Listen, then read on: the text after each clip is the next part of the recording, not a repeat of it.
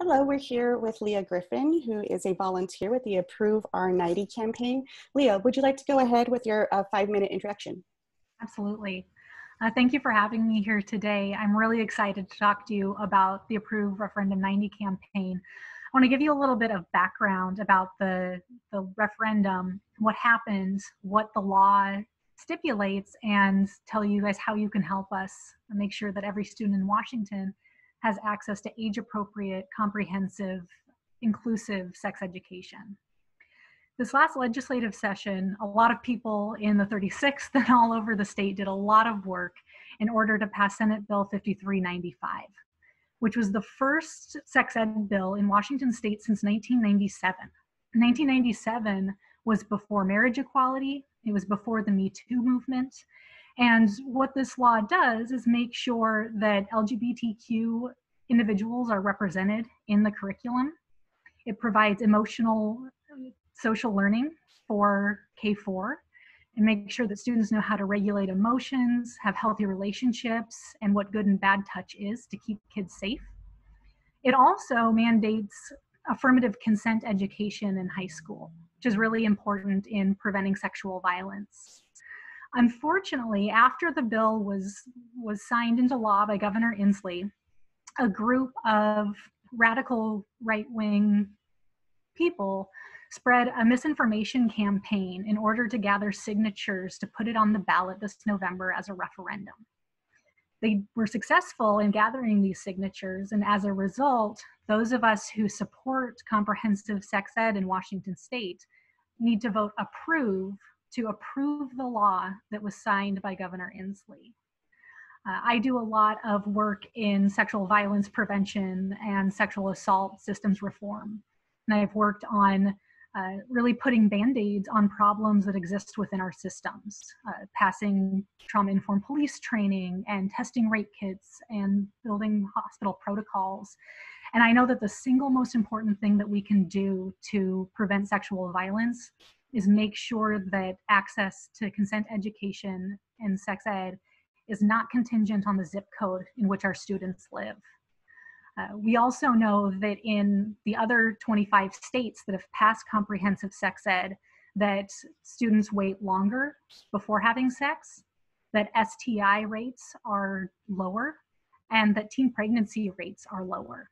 So we know that this law is going to be effective in keeping our children and our students safe and healthy. And I really hope that we have the support of the 36th in getting out a strong vote in support of sex ed for Washington. Great, thank you so much.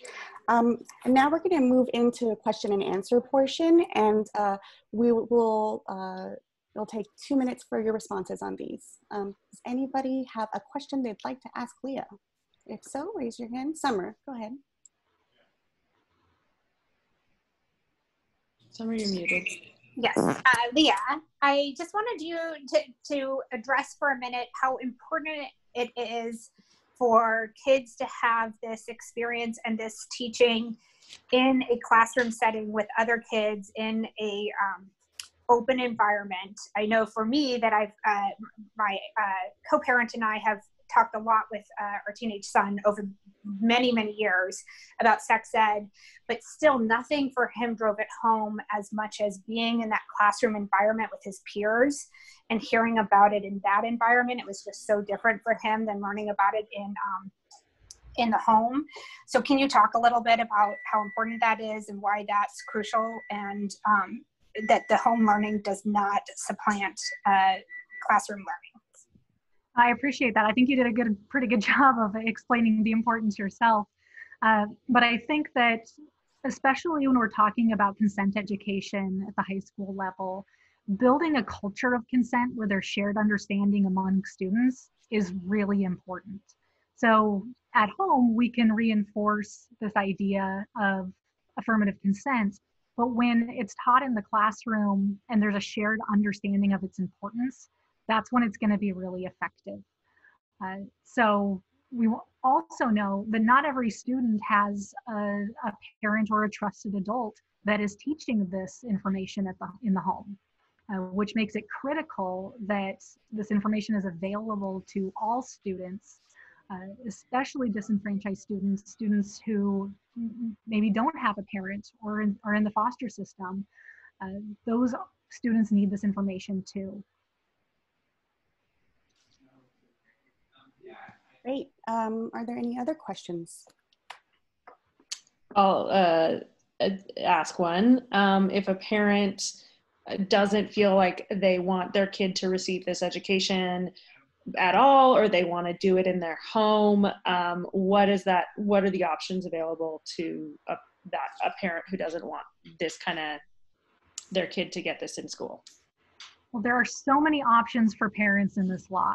First, parents have the option to consult with their school districts, with their PTAs, in order to make sure that the curriculum that the district chooses is the best curriculum for that particular district, as long as it meets the inclusivity and consent standards.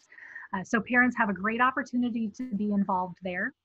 Uh, but parents do retain the option to opt their individual student out of the sex ed curriculum.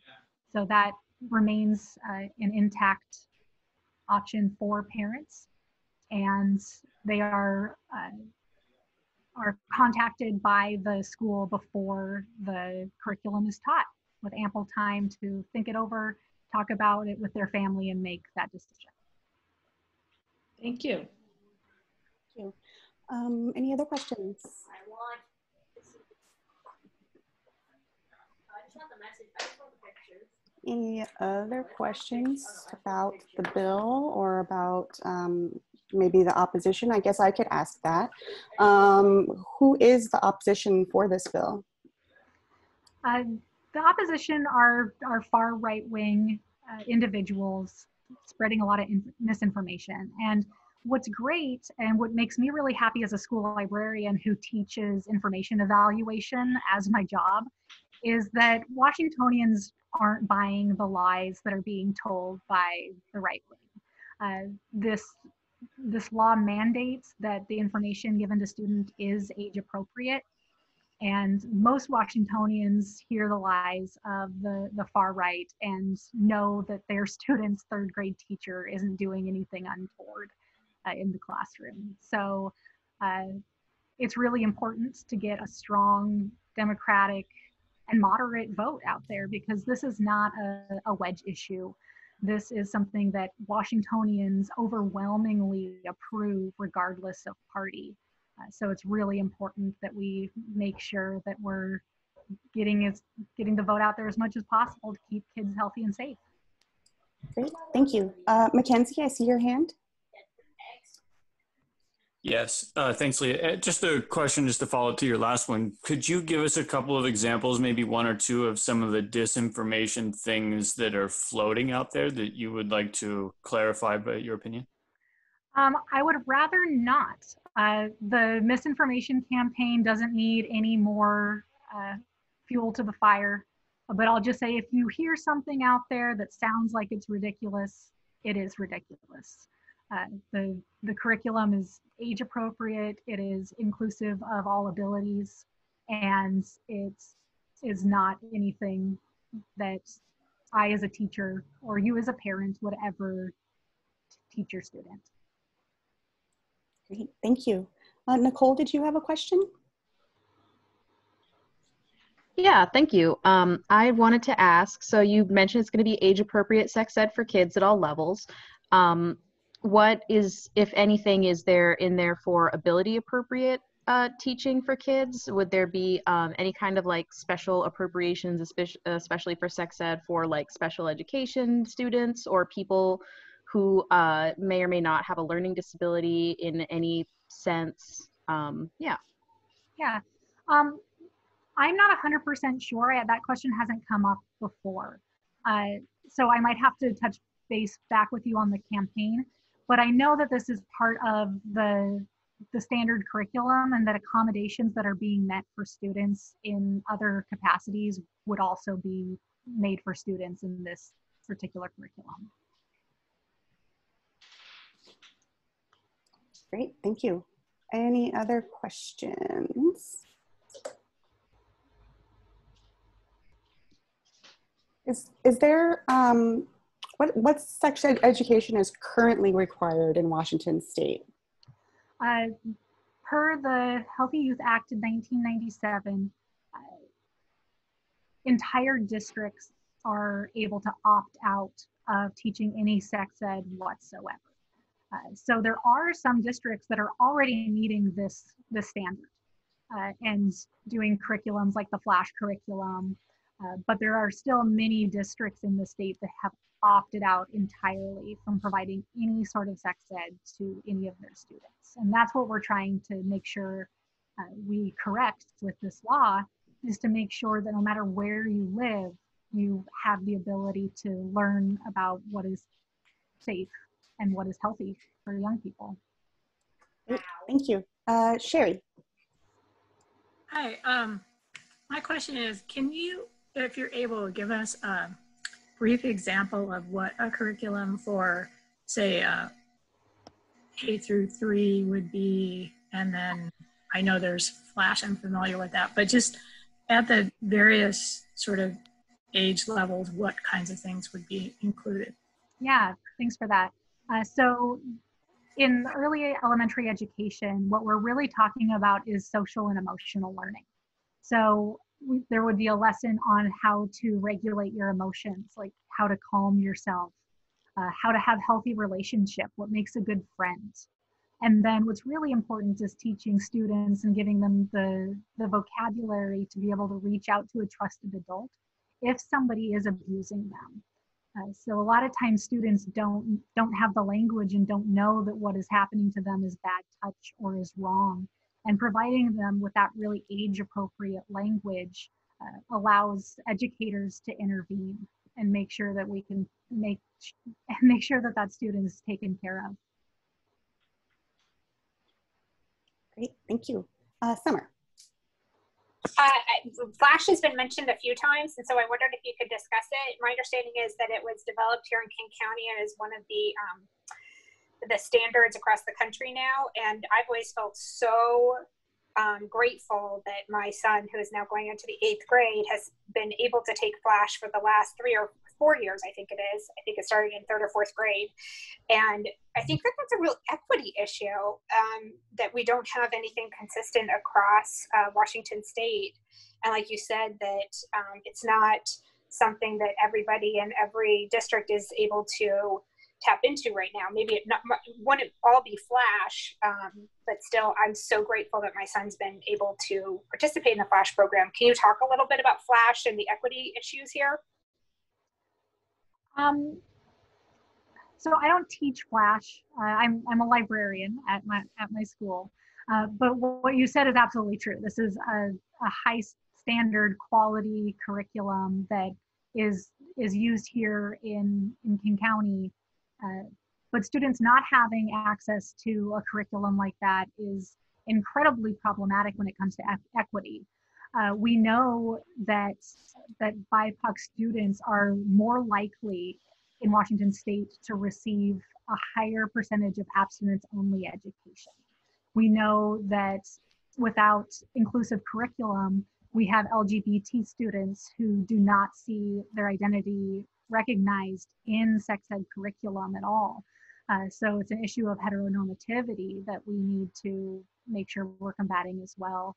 And then also when it comes to sexual violence, we also have a disproportionate impact on uh, girls, specifically girls of color. And it's important that in every zip code in Washington, students get these lessons that are going to keep them safe. Can I add something? Mm-hmm. Um, so uh, there is no requirement to use a specific curriculum under the law because we're a local control state. So local districts can adopt curriculum that they feel suits their community's needs, but um, they they have to adhere to certain standards. And OSPI is actually uh, required under this law to um, compile uh, an uh, summary of different available curricula and whether or not they meet standards um, on various metrics, um, including inclusivity and um, age appropriateness, that kind of stuff. Thank you. Any other questions? about this particular referendum. Give folks a second. Do you happen to know by any chance, um, I guess, what OSPI's uh, curriculum would look like? There is actually a very wonderful uh, website on OSPI uh, that I can email you, Nicole, that has a lot of the curriculum uh, options available with a frequently asked questions page. Uh, so that is, is available for anyone to peruse at their leisure. Great, thank you. All right. I'm not seeing any other questions. So um, if you would like to go ahead and give a, a brief one minute wrap up and, and, talk to the folks at home as to uh, why they should you know, consider your position, um, that would be great. Great. Uh, like I said, working in sexual assault reform, this is the single most important thing that we can do to prevent sexual violence in this state. Uh, it's also something that we can do to prevent unwanted pregnancy and STIs and keep our kids safe, healthy, and affirmed.